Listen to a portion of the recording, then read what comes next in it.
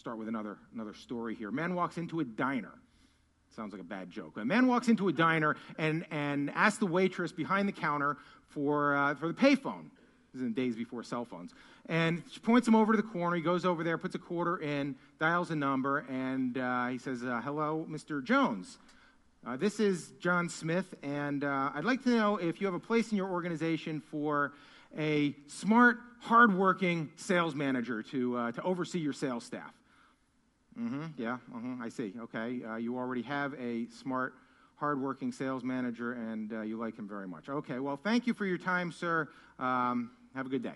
Hangs up, gets a big smile on his face, starts whistling and walking toward the door, which really puzzles the waitress. So, with a touch of attitude, she says, What, what are you so happy about? You just got rejected. And he turns and he says to her, Actually, I didn't.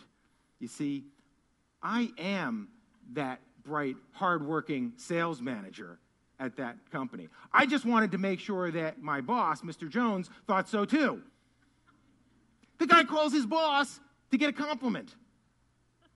It's a fictional story, but there's a truth behind it. People are starving for compliments. People are starving for affirmation. People are starving for encouragement, for a thank you, for a job well done, for a pat on the back.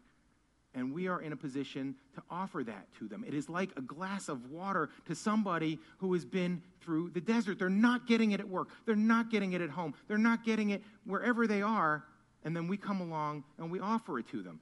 However, we may have been sold this idea that affirmation is not that important, that it doesn't really matter, or that it's just something that we do with children, something that we do for, for our kids or for those we teach or for those who are around us who are young. I had a boss who used to say things like, affirmation. There are some people, I guess, who need that sort of thing. Speaking about his employees, very condescending attitude, but it's just a myth. It's just a misrepresentation of the reality that affirmation is, in fact, a form of love. And it's the sort of thing that people are starving for.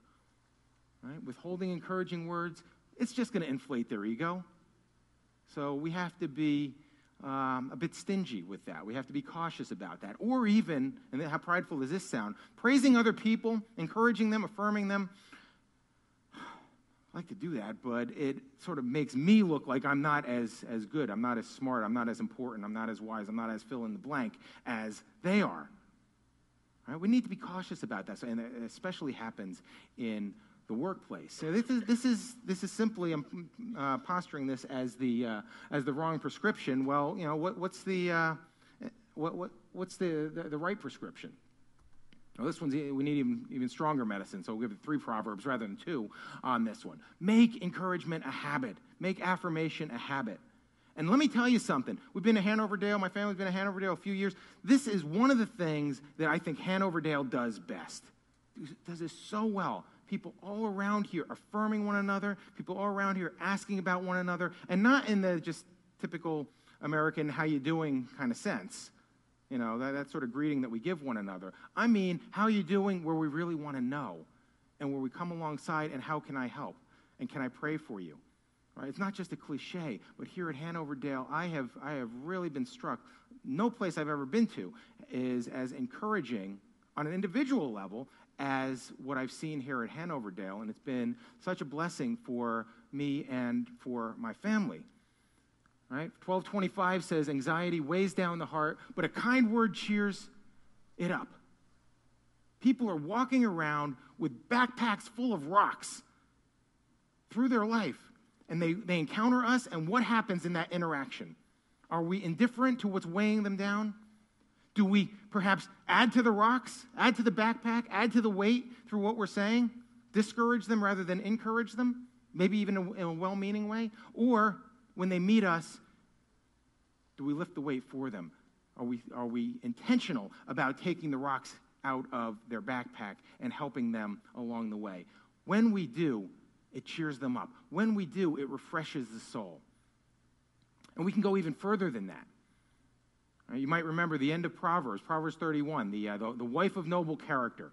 Basically, the ideal person. Who is she? Somebody who is working tirelessly Right? She's up before dawn. Her light doesn't go out at night. She's bringing food from afar. She's preparing it for her family and for her servants. And she's making clothing and she's running a profitable business and uh, delighting her husband. And her, her husband lacks nothing of value. When we read through this 21 verses, or 22 verses, and we say, wow, what, how should we possibly thank this person?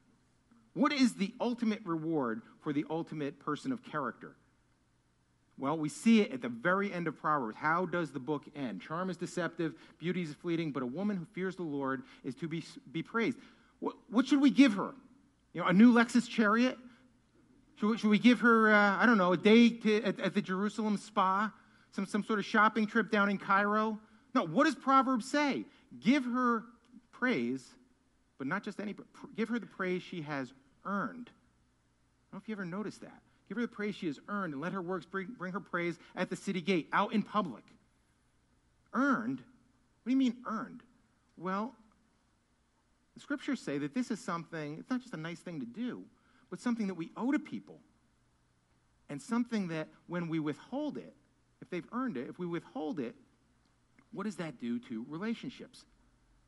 What does that do to your relationship with that individual. It's almost like they've earned a paycheck and not gotten it on Friday. How would you feel if Friday came along and you did not get paid? But you had to work next week anyway, and the next Friday came and you didn't get paid. But you had to continue to work, and the next Friday came and you didn't get paid. How would your relationship with your employer be? Our scripture is telling us that this is how we view it, that this is something that's owed, this is something that is earned. And so let's make a habit of encouragement. Let's make a habit of giving people the, the affirmation that is owed to them. What happens when we don't? Well, last story, I promise. A porter at, at, at an airport, guy that comes out to the curb and checks your bag for you. You've met these kind of people, right? He comes out and is checking the bag for a particular, uh, particular customer. And as he's doing this, he's doing a, reasonably good job. As he's doing this, this, this customer, this passenger, starts berating him, starts criticizing him for everything from his untucked shirt to uh, the pace at which is, he's working. He's bemoaning the state of today's youth. He told him he's going to tell his supervisor if he doesn't start moving faster. And Porter just you know, continuing on doing what he's doing, not responding, except when the man gets in his face and says, Are you listening to me, pal? Do you hear what I'm saying? Yes, sir. Yes, sir. I'm moving as fast as I can. Eventually, the guy goes off to his gate. Another passenger comes to that porter and says, That guy was unbelievable. And you handled that so well. How do you handle people like that? You know where this is going, don't you? he says, Well, actually, it's pretty easy.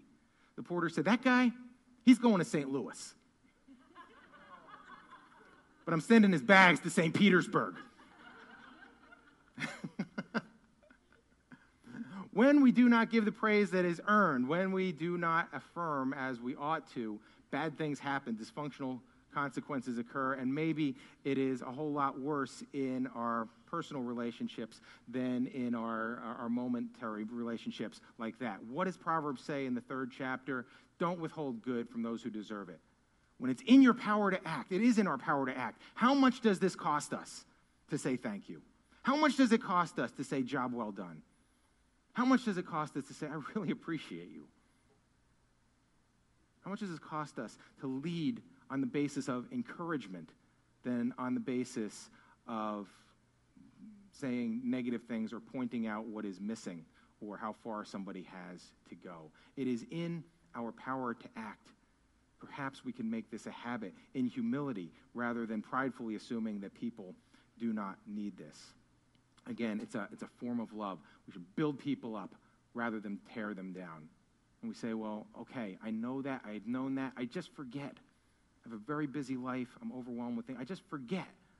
Well, last point here here's a way to remember, and it's something that's been very useful for a lot of folks. You can try it this very day if you're serious about making progress on this. Take five coins, pennies, whatever you want. Take five coins and put them in your right pocket at the beginning of the day to remind you to affirm five times, at least five times during the course of that day. And every time you do, whether it's at work or at home or any place else, you take a coin out of the right pocket and you put it in the left pocket, and you make sure that those five coins are in your left pocket by the end of that time period. And if you do work for a living, you know, for, for pay, if you go out and, and do that in the workplace, make sure that when you come home, you take those five coins out of your left pocket and you put them back in your right pocket and you start all over again at home. And eventually you get better. Maybe you can use seven. Eventually, maybe you use 10, and eventually you don't need coins at all. And see how that transforms your relationship. Now, you can experiment with this yourself, right? Give folks the praise that they have earned. Give folks the encouragement that they deserve, and it is transformational. In humility, let's take God's word seriously. There's so much good stuff in this, this little wisdom book.